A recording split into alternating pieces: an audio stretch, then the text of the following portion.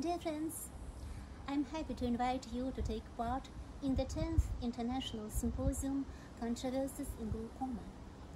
This year, our symposium will cover the most practical issues in the field of glaucoma diagnostics and treatment. The outstanding experts from Canada, China, Switzerland, and Singapore will present two different points of view on the same problem. We will discuss both views and choose the best option together with you.